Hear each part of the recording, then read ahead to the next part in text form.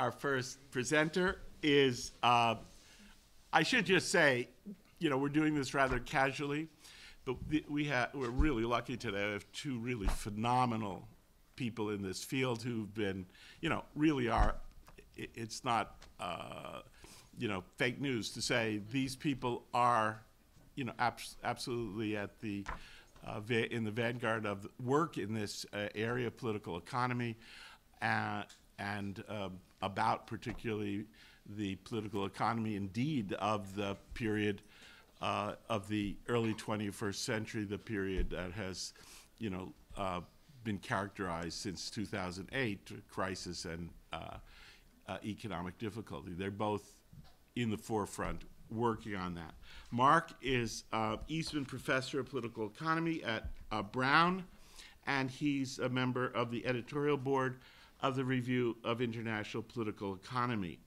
Uh, he's the author of Great Transformations, Economic Ideas, and Institutional Change in the 20th Century, um, which is a comparative analysis of ideas in the crisis of the 30s and the 70s.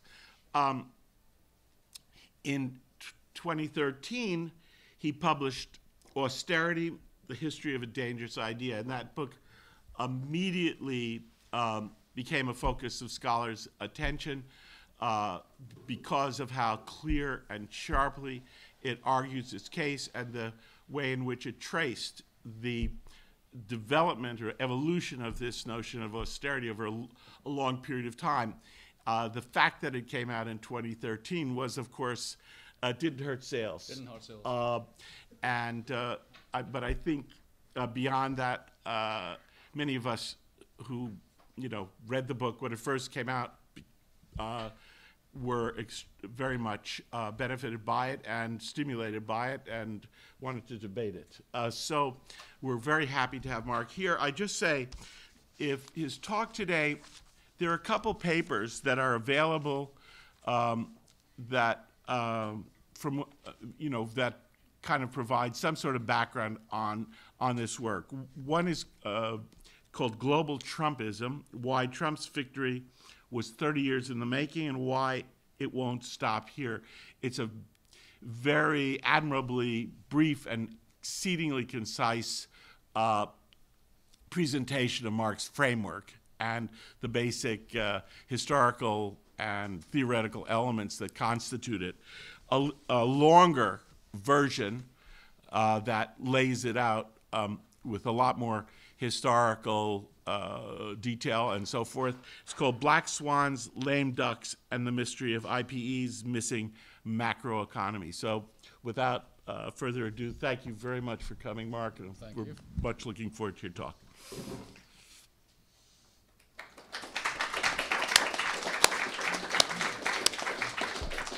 So we'll begin. So some comments on this. The idea is 10 years on from the crash. So first, let's begin with the disappointment.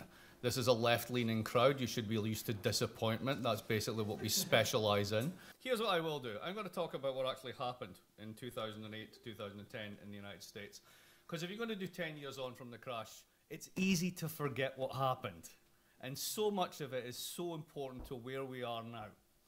Uh, I'm going to talk about how that became such a problem for Europe, because if you remember when the crisis started, Peer Steinbrück, who was the Social Democratic finance minister, said, This is a crisis of Anglo Saxon capitalism.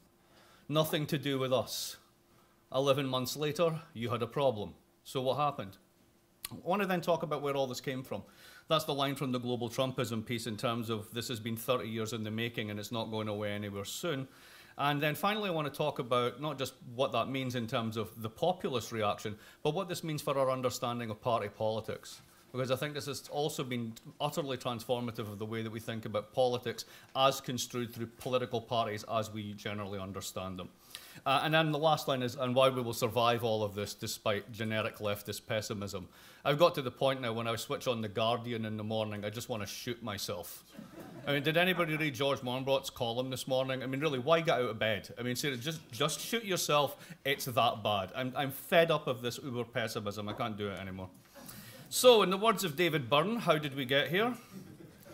So, there's some uh, bubbles. Now, remember the thing about there is a thing called the real economy, there's a thing called the financial economy, and essentially financial instruments are meant to be replicants of the real economy, no matter how complex these things are.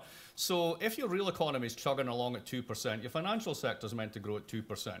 So if you have a look at this chart, what you'll find is the DJIA, which is the Dow Jones, the FTSE and the Nikkei, and particularly for the Anglosphere, you've got 6% a year compounded growth going into the crisis in equities on an underlying economy of 2%. That's a bubble. By definition, that's a bubble. Next one. Uh, housing bubbles. Well, you know that shed that you bought in the back of Dublin Airport went up by 130% for no apparent reason over a 10 year period. And that went almost everywhere except Hong Kong, who were still recovering from their own housing collapse 15 years later. So you have these two giant asset classes of equities and real estate, both on a massive tear for in one case 20 years in another case 10 years before it all goes wrong. So why was it so difficult to see those bubbles? Why was it so difficult to see it coming? Anybody know who this is?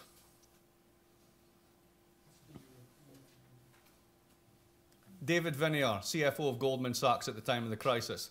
The line is we are seeing things that are 25 standard deviation moves several days in a row. Well, when you consider that 25 standard deviations is three times, no, 10 standard deviations is three times in the life of the universe, 25 standard deviations is pretty much out there.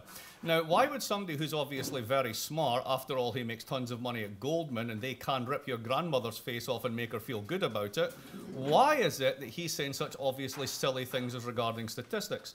And the answer is this the way that we think about risk or thought about risk in the banking system was wrong, fundamentally wrong. There was an idea that if you made each of the component parts safe, the system was safe, that it was scalable, that it was additive, and that basically risk was normally distributed. So there's a technology called value at risk, which allowed you to basically estimate what how much you had out in terms of risk assets at any particular point, summing that up to one nice number. Now the problem with this is very simple. There's loads of hidden correlation in the banking sector, and it was built through mortgages, but it could have been through any other asset class. And essentially what you end up with is too much leverage in the system all at once Everything is connected to everything else. My hedge is your hedge. There's no differentiation. My risk asset is the same risk asset you're in. We're all pulling in the same direction. So you build an incredibly tightly entrained, very, very tightly wound system with a huge amount of leverage. If you start to estimate the probabilities of things going wrong they're wrong, i.e., you don't take account of tail risk, it's going to go crashing down amongst your ears. So, first one so what does that mean? It means if you think about a world in terms of modeling risk or uncertainty, we actually live in a world basically between quadrants two and three. So if you think about complex payoffs, a world of convexities, all the way up, all the way down. And then you think about the tails on the distribution, not normal, they're actually out there and quite far, then where do you live? In our world, you don't run into 11 foot tall people. But banking crisis is the 11 is walking into an 11 foot tall person. And we do it way more than 25 times or three times or zero times in the life of the universe. We do this all the time. Banking crisis frequencies have been going up since the end of the Bretton Woods era, both in their severity and their magnitude right across the world. So, again, why didn't we see this? And it's again partly because we just don't have the optics for doing it, because it's not just a question of data, it's the fundamental way that we understand risk versus uncertainty in the way that we play with assets. So, that was one weakness that was in there. That hasn't been remedied. We still do exactly the same thing now. That's why I'm mentioning this. Some other large problems. If you go back to the 1970s, which we will shortly, the 1970s was a period that was very weird for many reasons, but for one of them it was because you had historically very low real interest rates because of the effect of inflation. And what that meant was when you released finance from its post-New Deal box in an environment of high but very rapidly declining inflation, interest rates fall lower, fall less than inflation rates once they're under attack after the Volcker shock. So you end up with in the 1980s very high real interest rates, which is why you have the Wall Street moment. It's impossible not to make money when you're getting 9% real for showing up at Citibank in 1983. So when you've got that, you have an environment which you've got your credit starved, huge demand for pent up credit very high real interest rates. How do you make money when everybody's piling in to make that money? How do you make money on a declining spread? The only way you can do is to play the game by volume, so they up the leverage. So the hidden, the hidden fracture, if you will, in the financialized system is that to continue to make money, you have to pile on leverage more and more and more. So what this chart shows you is just before 2008, what was happening in the banking systems of the world. And the most famous one, of course, is up there with Iceland, where you've got a thousand percent of GDP in bank assets in basically a rock in the middle of the ocean that doesn't produce anything. Now, how do you get to that position? You get to that position because people forget something or in fact they've never been told it. What banks called assets are actually liabilities. So I have the example I usually give is I have a condo in Boston. That's an asset. Not to a bank, it's not. It's a liability because they don't want to manage real estate. They're interested in the mortgage attached to the property, which to them is an asset, but to me is a liability.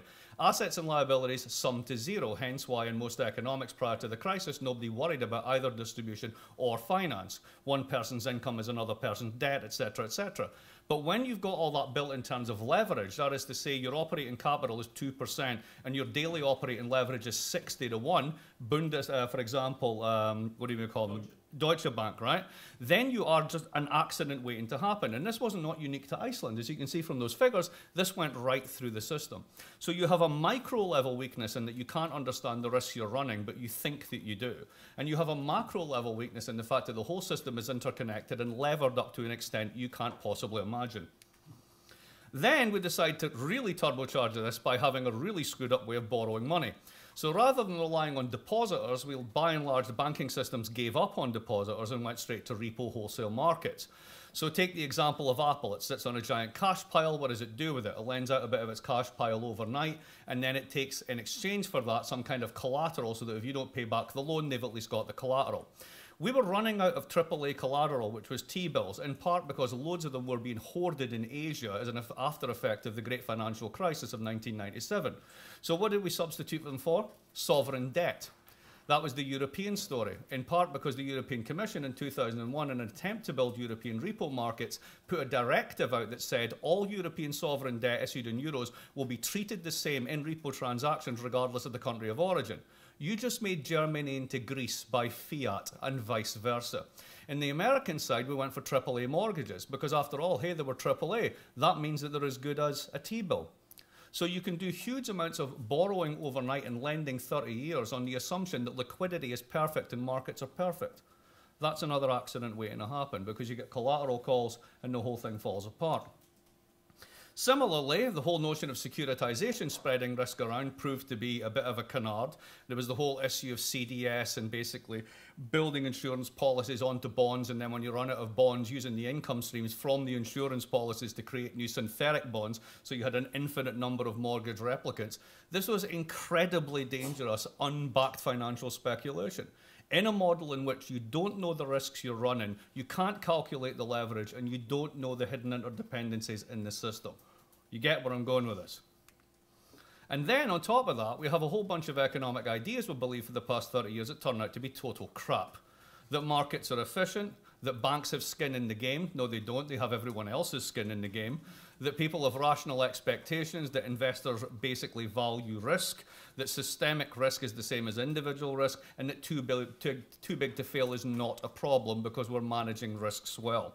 And the take home, of course, was the whole was different from the sum of the parts, and we only knew that in that moment of crisis when it all went wrong. So, what's the take home on the first part of coming back 10 years after the GFC in the United States? The cost of this for the United States was 13 to 15 trillion in lost output, bank recapitalization, and everything else. At a time in which we have no money for schools, no money for infrastructure, we can always find a trillion and a half to give people who already have everything even more money. But it's amazing how much money we can just magic out of nowhere to save the assets to the banking system when we have to.